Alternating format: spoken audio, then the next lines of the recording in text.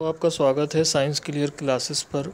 हमने जैसा कि आपसे वादा किया था कि हम जो है रोज़ एक एम सी क्यू सीरीज़ उपलब्ध कराएँगे और बीच बीच में हम आपको एक टोटल रिवीजन कराएँगे। तो जो आज हम एम सी क्यू सीरीज़ लेकर आए हैं, वो M C Q series class ninth के एम यू और जे एम आई एंट्रेंसेस के लिए हैं और इसमें आपको साइंस का एक तरीके से होल रिवीजन मिल जाएगा। इस तरीके के मॉक टेस्ट हम अपने चैनल पर डालते रहेंगे। तो आपसे रिक्वेस्ट है कि हमारे चैनल को सब्सक्राइब करें और शेयर करें ज़्यादा से ज़्यादा, जिससे कि ज़्यादा से ज़्यादा लोग इसका फ़ायदा और बेनिफिट उठा सके। तो शुरू करेंगे आज हम अपना मॉक टेस्ट फ़र्स्ट क्वेश्चन है the process which loops the amount of nitrogen constant air in ठीक है सॉरी ये क्वेश्चन टू है।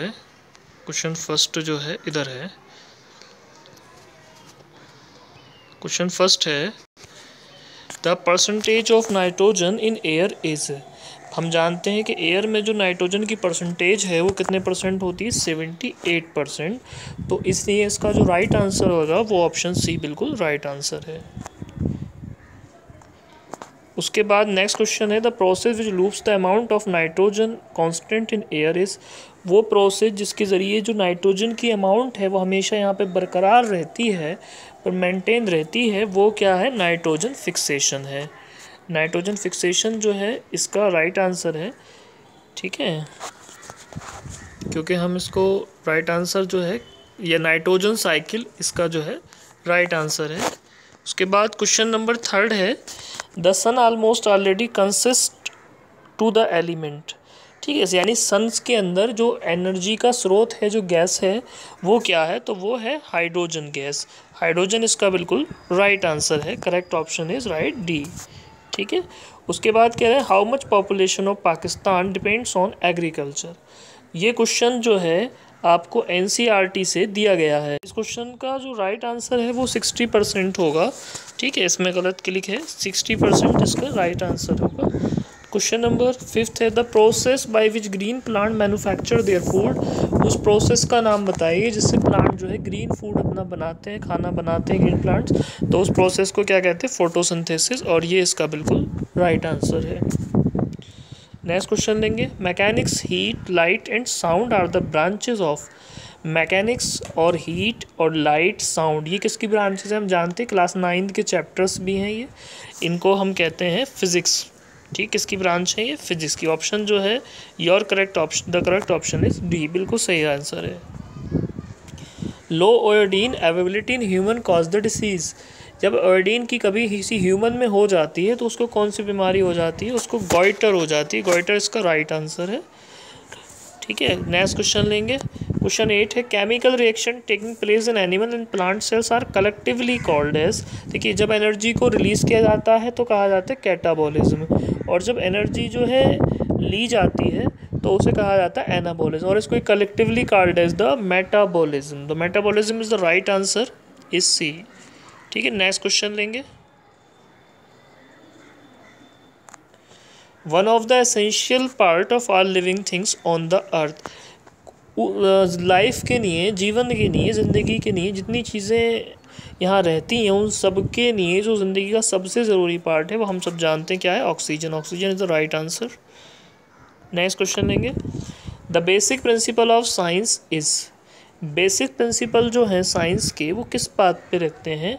तो जो बेसिक प्रिंसिपल हैं साइंस के, वो जो हैं एक्सपेरिमेंट पर होते हैं, एक्सपेरिमेंट पर। नेक्स्ट क्वेश्चन है, it gives resistance against disease. इनमें से क्या जो है, डिसीज़ के अगेंस्ट जो है, हमें रेजिस्टेंट देते हैं?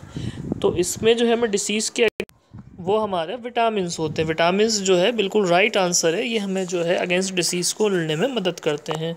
उसके बाद है during the process of sterilization the food item are heated at जब हम किसी चीज़ को स्टलाइज करते हैं मीन्स जो है जीवाणुओं से मुक्त करते हैं तो उस टाइम पे जो उसका टेम्परेचर होता है, वो कितना होता है? इस क्वेश्चन में ये आपसे पूछा तो इसका जो करेक्ट आंसर होगा वो 148.9 डिग्री सेल्सियस होगा, क्योंकि स्टलाइज करने के लिए किसी भी चीज़ को हम 148.9 डिग्री सेल्सियस पर गर्म करते हैं। तो इसका राइट आंसर ए है। Deficiency of the vitamin lead to the deficiency of blood इनमें से किसकी डेफिशिएंसी से जो है ब्लड ब्लड की डेफिशिएंसी हो जाती है तो ब्लड की डेफिशिएंसी होती है हमें बी टू की वजह से। किसकी वजह से होती है? बी टू की वजह से। ठीक है? So answer correct option is B उसके बाद individual known as the universal donor have group हम जानते हैं जो ब्लड ग्रुप जो है, सबको ब्लड डोनेट कर सकता है, उसे कहते हैं यूनिवर्सल डोनर तो यूनिवर्सल डोनर जो ब्लड ग्रुप है, वो हम जानते हैं ब्लड ग्रुप ओ है। ये इसका बिल्कुल राइट right आंसर है। Question fifteen it is not crystalline form of carbon ये कार्बन की जो है क्रिस्टलाइन फॉर्म्स नहीं हैं। तो हम जानते हैं कि जो कार्बन की क्रिस्टलाइन फॉर्म है, वो ग्रेफाइट भी है डायमंड भी है और बकी बॉल्स भी है। तो चारकोल जो है, इसकी जो है जो क्रिस्टलाइन फॉर्म है, वो नहीं है। नेक्स्ट क्वेश्चन लेंगे।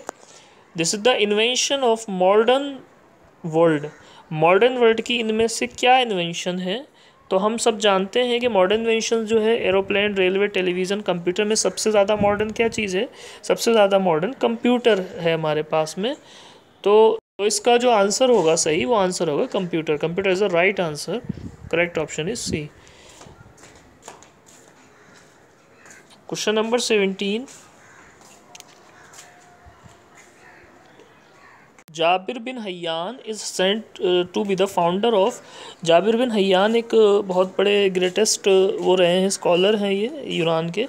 तो इनको फाउंडर कहा जाता है किस सब्जेक्ट का? केमिस्ट्री का फाउंडर कहा जाता है ये इसका बिल्कुल राइट आंसर है।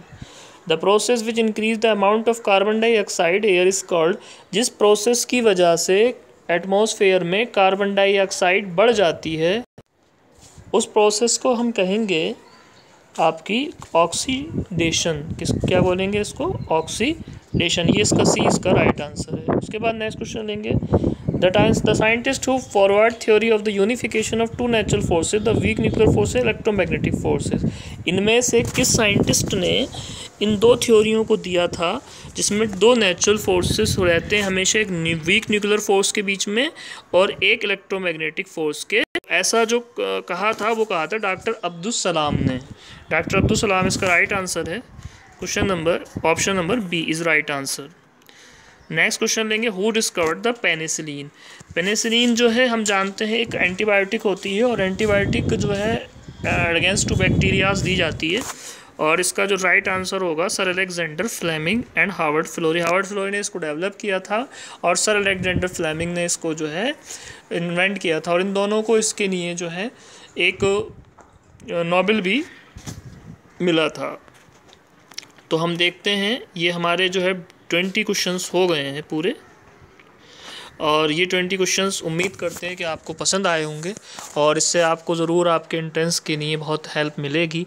हमारे इसी तरीके से हमारे चीज़, इसी तरह के लेटेस्ट क्वेश्चन एमसीक्यू सीरीज़ और कंसेप्ट क्लासेस के लिए और कंसेप्ट बिल्कुल स्टडी के लिए हमारे चैनल को शेयर करिए सब्सक्राइब करिए साइंस क्लियर क्लासेस पूरी वीडियो देखने के लिए आपका बहुत बहुत शुक्रिया। वेलकम धन्यवाद।